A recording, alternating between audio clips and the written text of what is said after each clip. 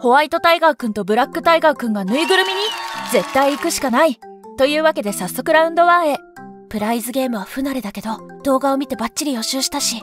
いけいけいけるよねこれだけ奮闘しましたが、キャッチの瞬間は取れていませんでした。はい、なんとか時間をかけてゲットしました。